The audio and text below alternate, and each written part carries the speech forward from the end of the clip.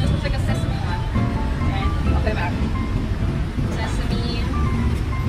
I don't know, caramel? Plain? And there's like a Dunkin' Donuts sugary thing.